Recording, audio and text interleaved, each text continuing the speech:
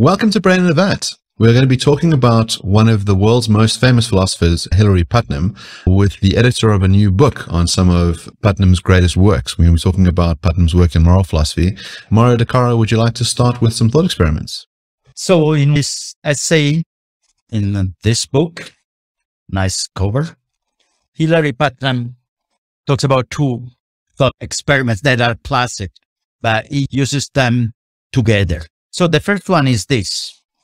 Let's assume that there is a terrorist who has a big bomb and could kill a lot of people, but we don't know where this bomb is. And so should we torture him in order to know where the bomb is and so to disconnect it? The intuition that Putnam has is that we shouldn't do that. We should think about other possibilities like uh, mm, threatening the person that will torture him or her, and um, trying to use some medicines or products that could help us to get the truth. Uh, anyway, the idea that uh, torture is acceptable is something that for Putnam shouldn't be done. So this shouldn't be done. The, because the idea that torture is acceptable is so terrible that really shakes our deepest into moral intuitions. Now, the point is that from a strictly consequentialist point of view, so the family of moral views that look at the consequences of actions in order to evaluate their morality, it may be that the conclusion should be that we should torture them. So, for example, utilitarian is the most famous version of this family of views. That it, it, this is the idea that a, a, an action is moral if the general benefits for society would be higher than the other possible actions. So, because many people could die because of the bomb, it seems that torturing the people is little sufferance compared with the death of many people. So, a consequentialist or a utilitarian could say, yes, we should torture them. And this for Putnam is unbearable. There are versions that Putnam doesn't mention because for him this is enough, but that even the thought experiment can be made a little more harsher. Let's assume that the, the terrorist is crazy and says, I'll show you where the bomb is if you torture that little child. This is even worse, of course. But from the utilitarian point of view, still the sufferance of a little child is much less than the death of many people. So again, uh, someone who looks at the consequences of our actions as the only way you're judging the morality of those actions may conclude that, yes, it's okay to torture the child. All this, Putnam says, shows that consequentialism cannot be taken as the last word in ethics. But that doesn't mean that it has some interesting component, something we shouldn't forget in some cases because Putnam's view in ethics is a pluralistic approach. We have different intuitions. We live in different situations. So we really need to every time to think deeply when we have this kind of difficult decisions to make and use all the intellectual tools we have. One, maybe consequentialist, but up to a point. So many other people go in the other direction, the opposite direction, and say, look, an action is moral as long as it is inspired by the right principles. The right principle could be the Ten Commandments, for example, or some other religious uh, law. But the typical example, the philosophical example is this categorical imperative by Kant that says that you shouldn't ever use the other people as tools for reaching your own ends. And so you should respect the other person always as an end in itself. That's the idea. But also here, Putnam has a counterexample that is actually classic. So let's assume that you hide a person. Uh, the classical example is a Jewish person during World War II, and then there are Nazis or fascists at your door asking, are you hiding somebody?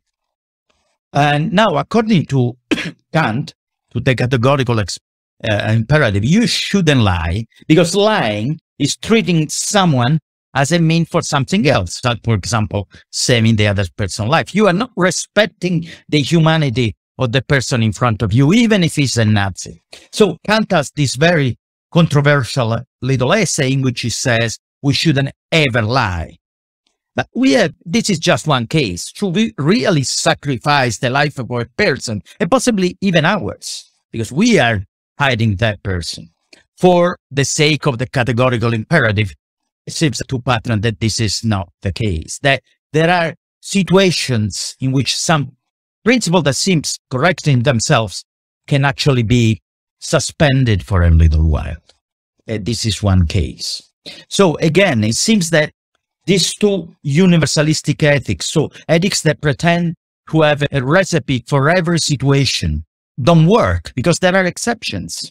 And you, we have to be conscious of this. So neither looking at the consequences all the time, nor at the principle that inspire our actions all the time is enough for being sure that we know what is to behave morally. We have to be much more flexible. That's Putnam point of view. So as a diehard utilitarian over here, it's it's very hard not to start giving responses for the utilitarian and trying to find a solution in the terrorist case. But before we go down that road, instead of trying to fix consequentialism or fix deontology, how do you combine these theories? So how do you form a pluralistic ethics in a way that's not just vague? Because that is my concern, is that what you will then do is in any given situation, you won't turn to the theory. You'll turn to your intuition and say, well, this is what I'd like to do. And then you'll just pick the theory out of the group that works for you, out of the plurality that gives you the justification for the decision you want to make and say, well, there you go. That's what we should do. But it, then it seems like the theory is not guiding your actions, that your intuitions are guiding the theory. Yeah, that's a good question. But the point is that you need to give reasons for your actions. So it's not that just your feelings, right? You feel that this is what you do. Now I am follow the categorical imperative. Now I'm a utilitarian and that's it. No, the idea that we should justify our actions by giving reasons, at least potentially we should be able to give reasons. And the, the crucial point for Putnam is that arguing in ethics is not too dissimilar from arguing about rational fields as science, for example, or about describing the world, right? When you describe the world, you try to be correct uh, and so on with ethics. We have standards there. So standard of consistency, standard of respect of some intuitions that are universally shared. So, for example, there are intuitions that Putnam believes everyone has, that there is the sadist or there is the sociopath but we shouldn't model our ethics on these cases. So, for example, torturing children, especially for fun, is something that nobody ever should consider uh, ethical. That's uh, a principle. So it's not that for Putnam there are no rules at all, but there are no meta rules that say all the time what we should do in any case. But in single situation, this is correct. This is what we should do to appeal to intuitions that are common.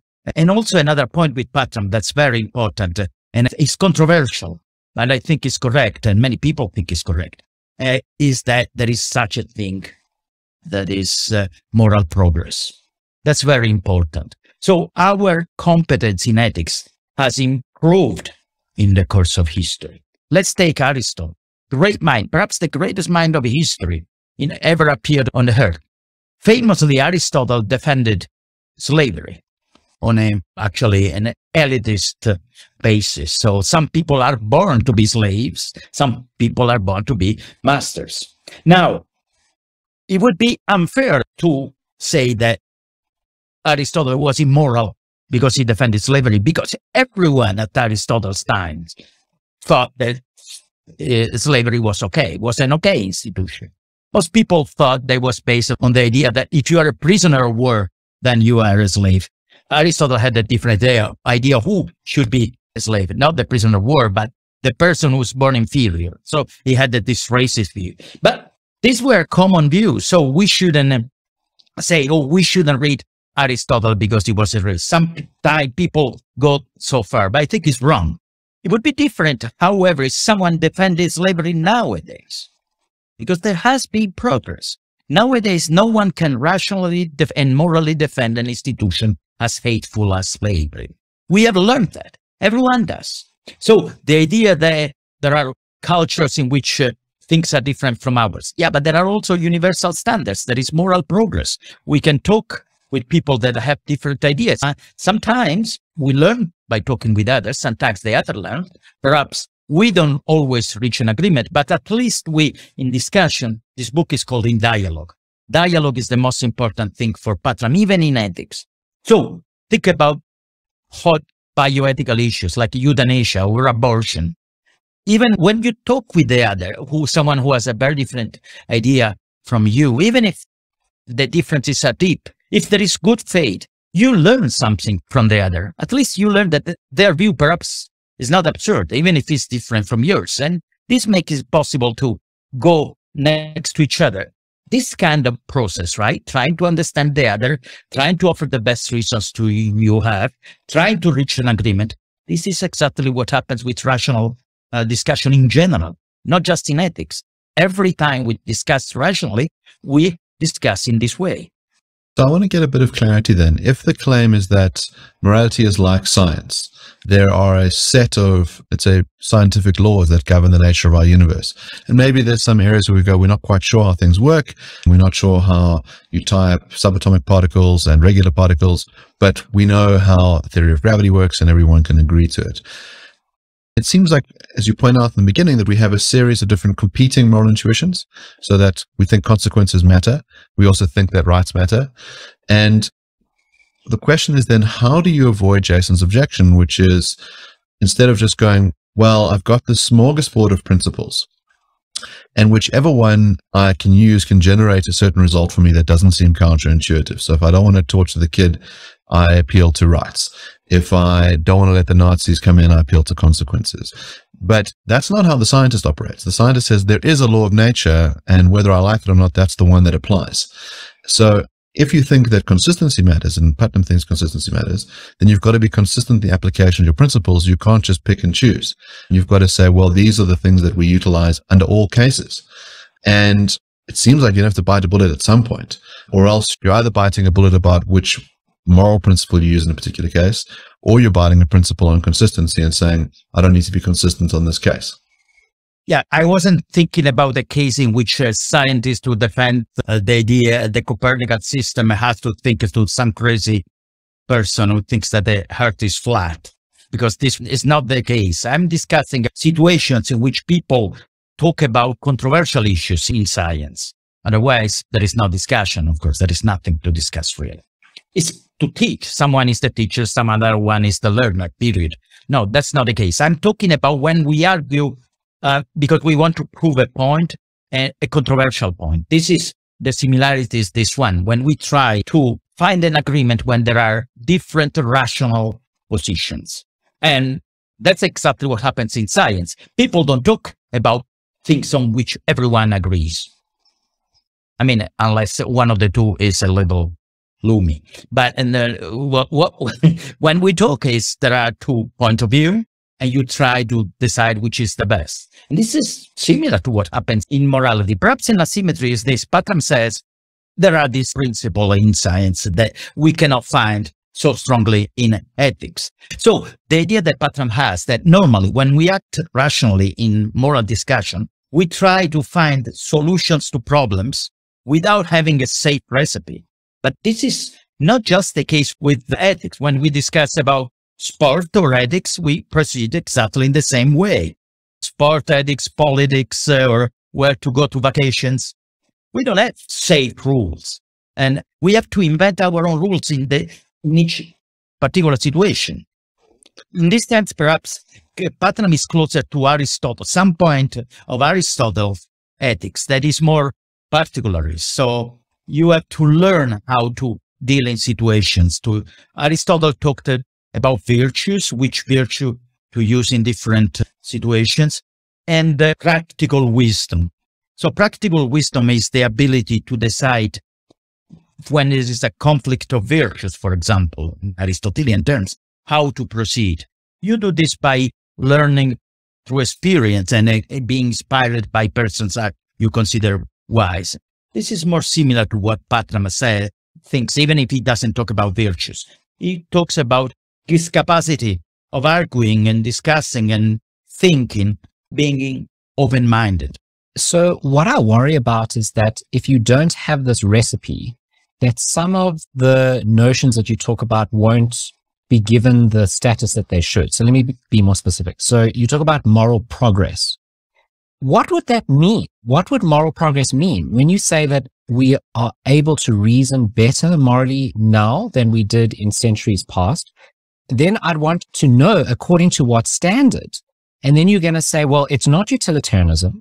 It's not, it's not deontology. It's some combination of them.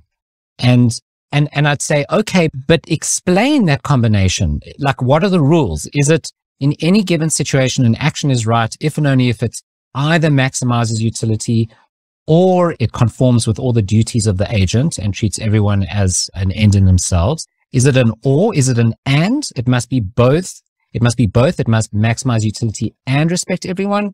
Or is it some sort of limiting condition? So is it that we should, we should always act according to our duties, but so long as horrendous consequences don't ensue?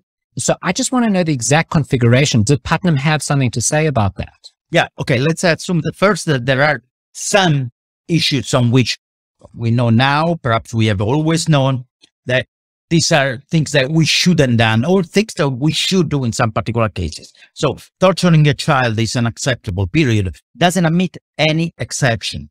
So it's not that there are no things that we are not sure about, but these are not very many. In most cases, we don't know exactly what is the moral things to do. There are conflicts. Even if one, people can be bad faith, but even if one is in a good faith, simply you don't know which one is the moral uh, attitude. So think about this. A person is very is sick. Should you tell them how sick they are or you should be more compassionate, not to tell them? I don't think there is any rule there.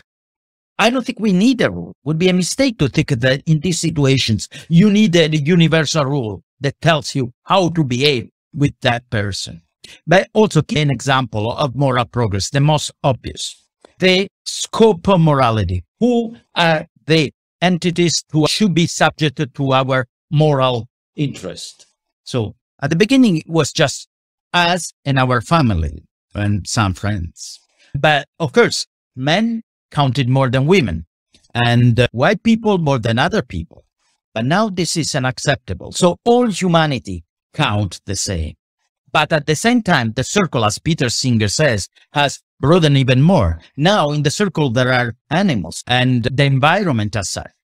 Even uh, think about in our moral progress, now we consider something that people hadn't thought for many millennia, next generations. So entity, people that don't exist yet, we have some moral commitments toward them. We have to respect them, even if they don't exist. Even if we don't behave correctly, perhaps they will never exist. But still, for this reason, we have to respect them. This is moral progress. Have we done this moral progress by obeying consequentialism or Kantianism? I don't think so. We have proceeded by trial and errors. That's a way we do. I don't think uh, this kind of progress is done following one law. Science doesn't work this way. The idea that there is one method in science is totally wrong. There is not one method in science, not two methods, not three methods. There is an unlimited number of methods why should there be a method in ethics? So for some further clarity, I wonder about this. It seems that, as you say, there's a widespread consensus on a range of moral topics that there wasn't always a consensus on. So it used to be the case that a lot of people thought slavery was okay, that you only owed duties to, as you say, members of your group, and that those intuitions have been shed. And whichever moral theory you plug in, they're going to be compatible with those other intuitions. And then we have these other cases, these hard cases where we say there's a tension here. So we generally think lying is bad, but we want to justify it in some cases.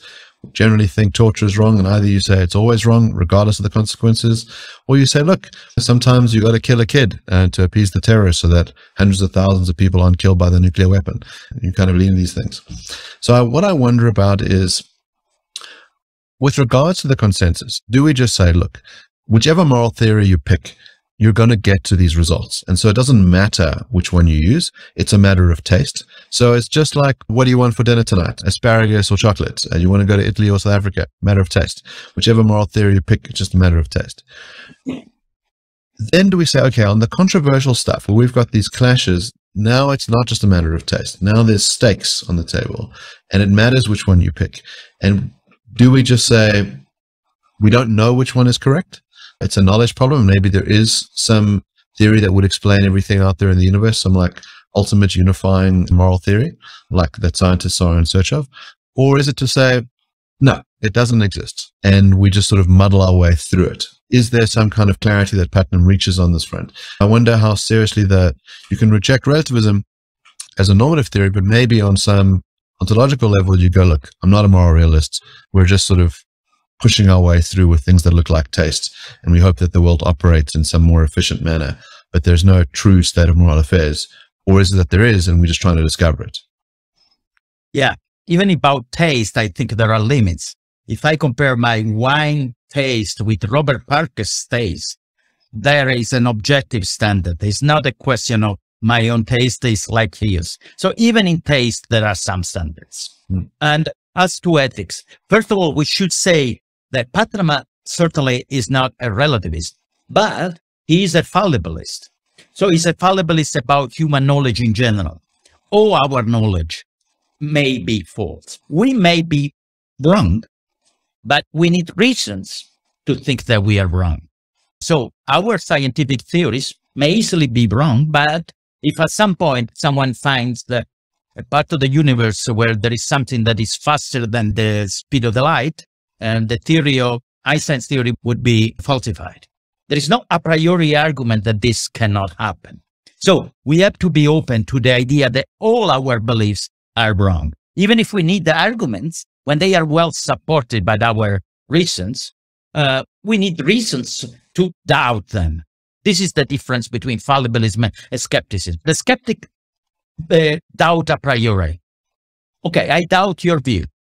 No, the fallibilists only doubt when there are reason to doubt, but assume that our beliefs can be wrong. And this is also true for ethics. But as it happens in all the other fields, our best ideas in ethics, we should accept them, even if we know that they may be wrong. So as long as we have good arguments, we are not just entitled, we have a cognitive and moral duty to accept the best ideas we have, the best theories we have until they're proven wrong. So this could be called an inference to the best explanation. Let's take, uh, let's accept for true the best explanations we have. This is what happens in science. The same could be for ethics, right? So we have this view that we should respect animals. We shouldn't torture animals and we shouldn't accept uh, deep discriminations among humans. These are our views. Perhaps they may be proven wrong. But in order to prove wrong these ideas, a radical change in our worldview should happen. And why should we accept the idea that this is under the corner? I know that below the corner. I don't think it's so close. You said that Putnam was not a relativist about morality, but I worry that it sounds like he is. So if you're saying that we shouldn't judge Aristotle as a racist because in his time, people were all racists and we shouldn't judge him as supporting slavery because everyone did then. Then that really does sound like relativism. And when we further insert this notion of rational discussion, I mean, Mark and I are great fans of discussion because that's what this show is about. It's about engaging. But we don't think that the truth of the matter is relative to the discussion. In other words, we don't think that just because we come to a consensus on the show. And suppose this show just didn't just have the three of us, but had every rational being on the show. And we have a long discussion about a particular issue. Let's say it's abortion or euthanasia. We have a long discussion about it. We come to a consensus. We don't think, therefore, that that is correct. We just think that the rational discussion is a route to help us perhaps get closer to the truth. It's better than no discussion. But we don't think that the discussion itself constitutes the truth. I agree entirely. It's not the constitution of the truth. I think the Putnam would agree, and I agree that it talks about a truth or approximation to the truth. So if we find some argument very compelling, we should accept it. And if we don't see reason to doubt it, we should accept it. But we should always stay fallibilist. So uh, let's assume that the three of us now find an incredible moral theory. We are all convinced.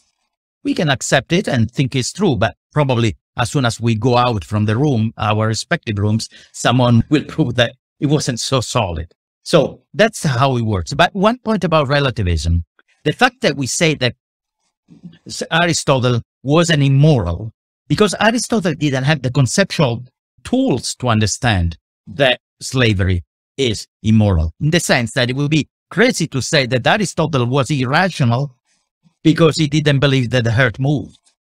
We cannot say that. It's a question of a historical approach. So, of course, there is, uh, in some sense, rel historical relativism, but also there is progress. So we know better than Aristotle. So if we have to compare the two views, we say that we are better.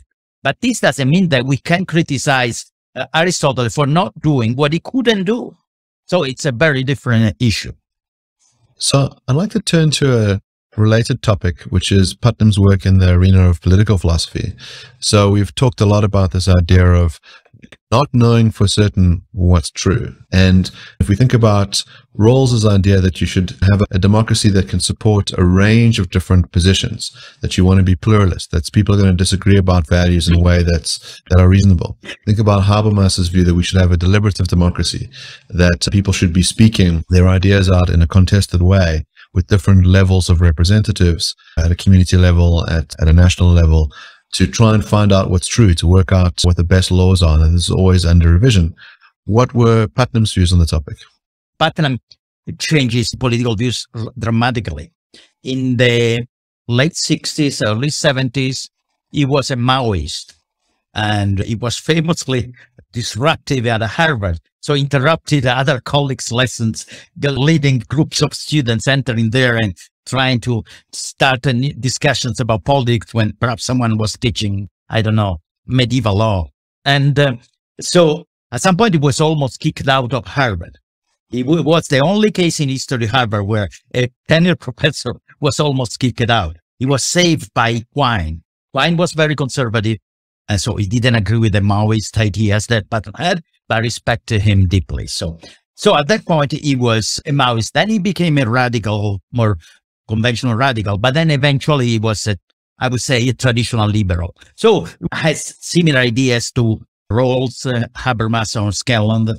And uh, it was all, uh, I remember, yeah, the last time I met him, he was very worried that Trump could win the elections. He was extremely worried about Trump. So he was a traditional liberal, was very, very interested in politics. Perhaps with Habermas, had an issue about Habermas formalism. So it's not just a question of respecting the forms. Democracy has to go deeper than that. And I remember these discussions with him actually. So he said things you can expect from a liberal. So he was against that penalty, against limiting violently the immigration and all these things. And was a democratic, but also he saw the crisis of democracy. Uh, the crisis of democracy uh, caused, for example, died money the huge amount of money that can condition uh, electoral campaigns and uh, corruption and all these things. So when he died, he was sincerely worried about the state of democracy in America and in, and in the world.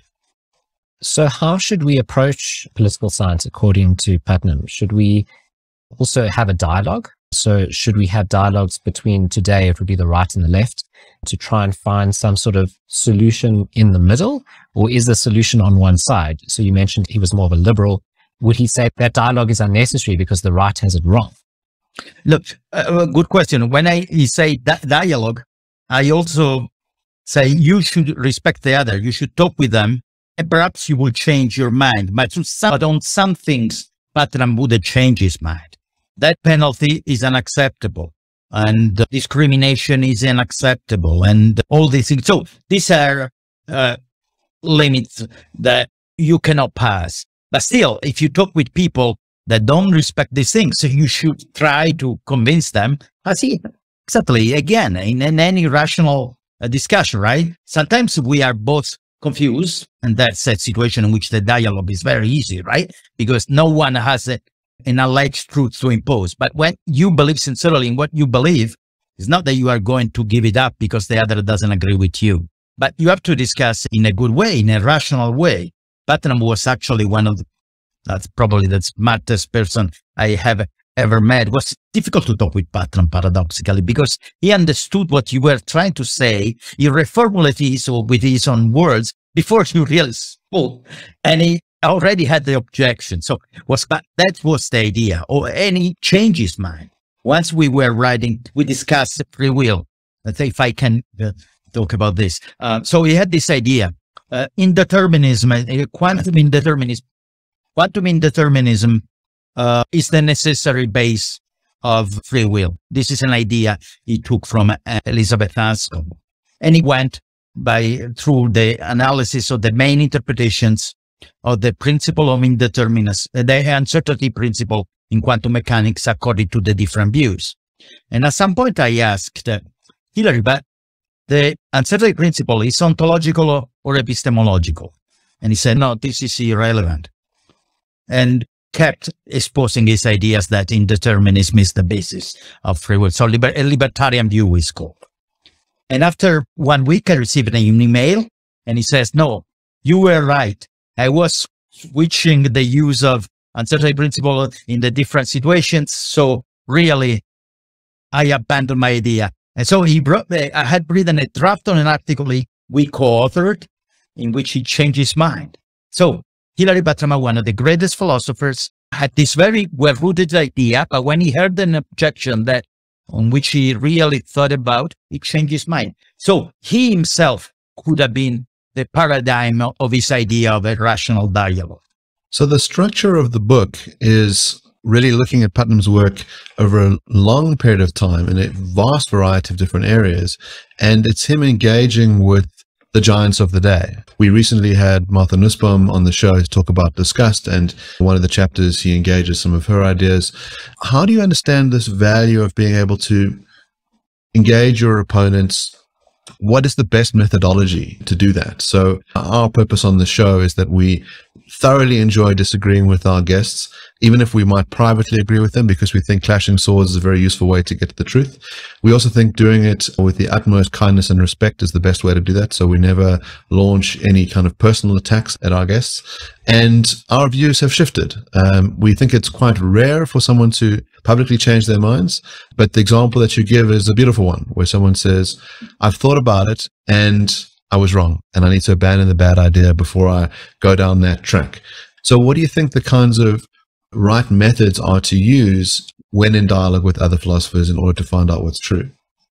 That's a good question, Mark. Let me make a premise.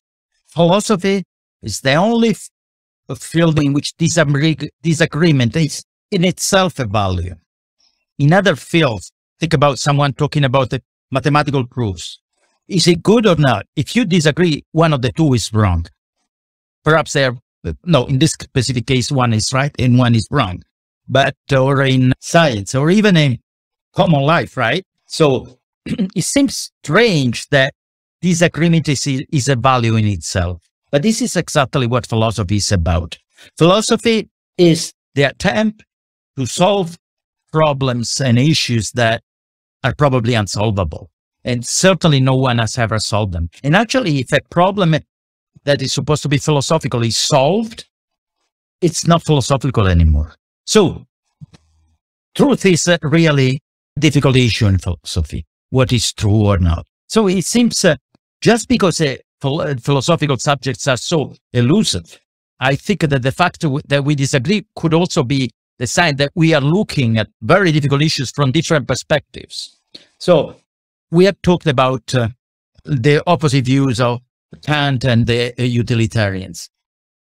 I think Putnam has a point in saying that it's not that they are entirely correct, but they are not entirely wrong either. So there is some truth in both, some value in both views that we should consider. So in philosophy, it's difficult to find a solution. That's it, period. That view was correct, the others are not. And so the idea that we disagree I think is a way of saying look, these problems are so difficult that we need the contribution of different people with different ideas. Perhaps we enlighten what we can do in philosophy is we enlighten problems more. It's not that we can solve them. So compare with the ancient, we know there is philosophical progress. Some people say there is not. I think there is, but not in the sense that we solve problems. We understand them better. That's the idea. We understand them better. We perhaps don't consider solutions that were proposed in the past. We pro propose other solutions, but the contributions have to be plural because there is never a very convincing solution. So I'm happy with your strategy, guys. And I'm happy that you try to challenge me, even if, of course, I think you were wrong.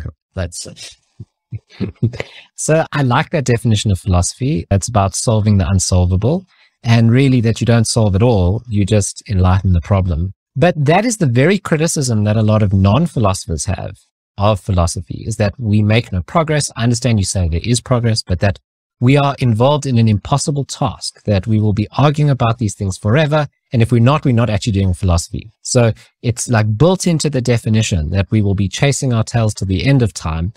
And I just want to come back to this idea of progress because then the question is, you say, well, we have made progress. And then suppose the critic of philosophy says, so what do you mean we've made progress? And you say, well, we've enlightened the question. And you say, well, and they say, well, what do you mean we've enlightened the question?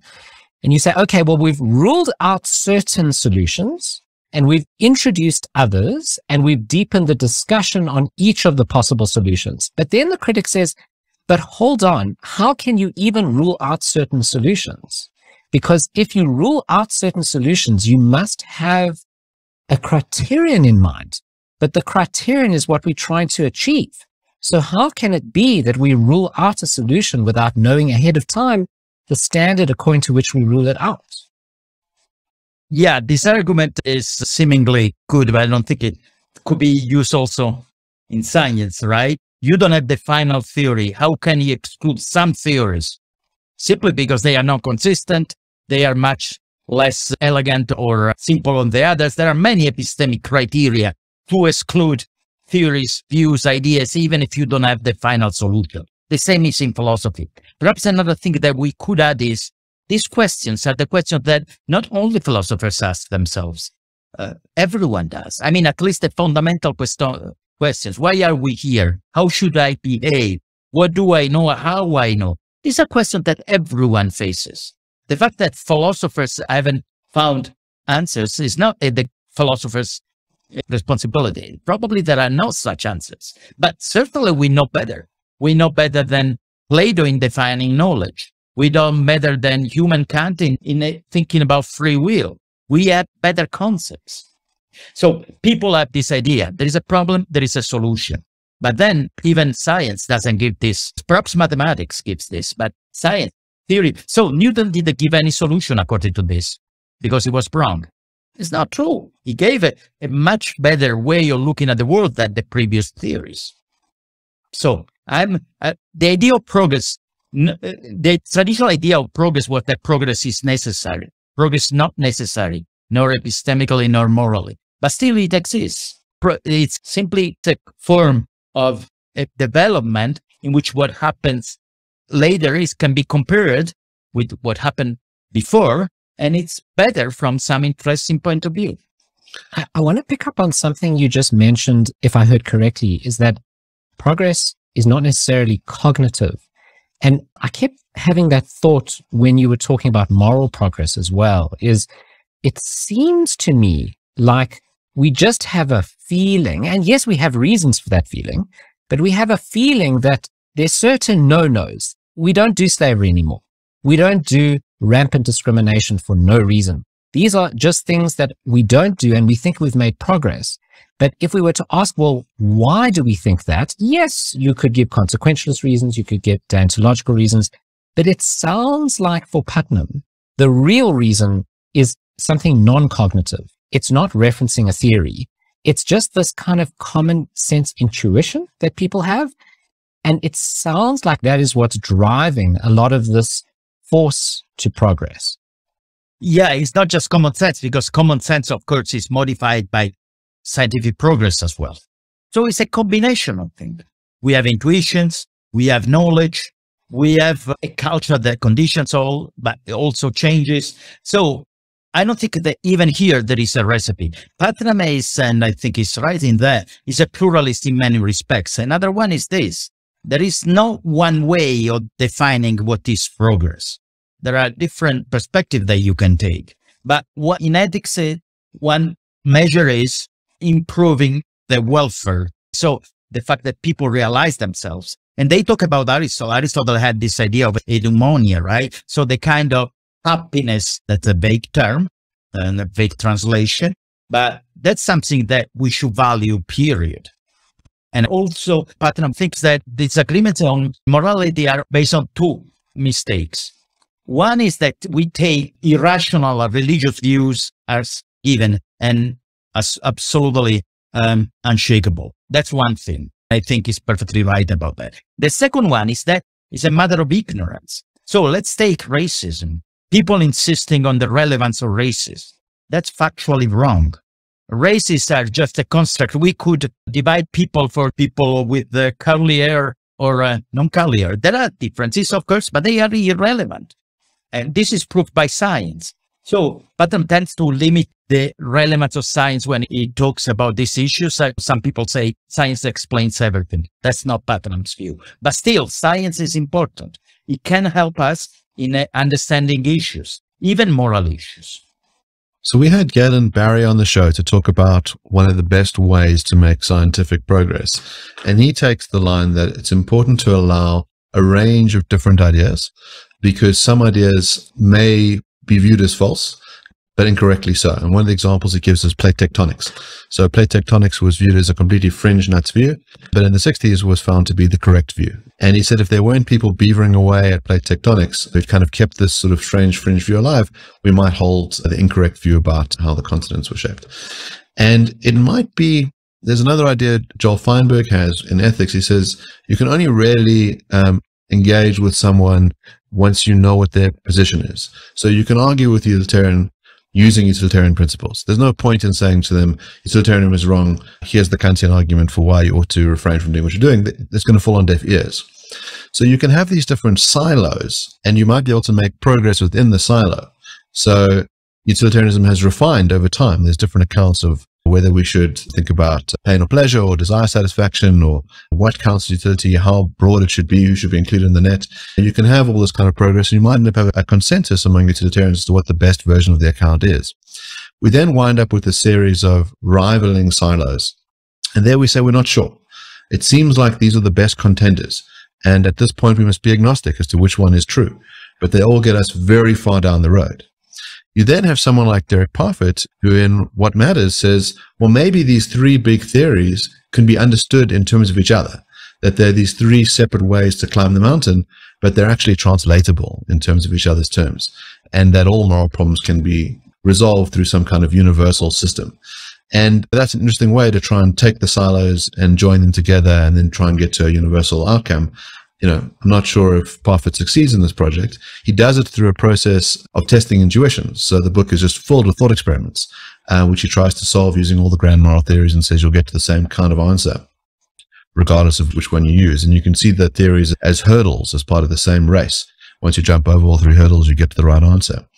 And so it might be that you can have this pluralist approach that ultimately converges into one kind of final ultimate approach. I think that's a fascinating debate. So why should we assume that there is certainly one way in which these discussions should be rationalized? Perhaps there is not. Or perhaps, as uh, was saying, there will be at the end one way of, perhaps a supercomputer will find a way of explaining everything even at that level. We have to be open on that. But the important thing is that we keep discussing. The important thing of this philosophy that is not appreciated enough, perhaps it's not appreciated enough anymore, is that it teaches that we should keep discussing even when we don't know really what the final answer is. Discussing when you know the truth really, uh, it's a one thing. Discussing when you have ideas, but if you are an honest philosopher, you know that they may be wrong. That's enriching. That's uh, really something that should be learned more in schools, for example.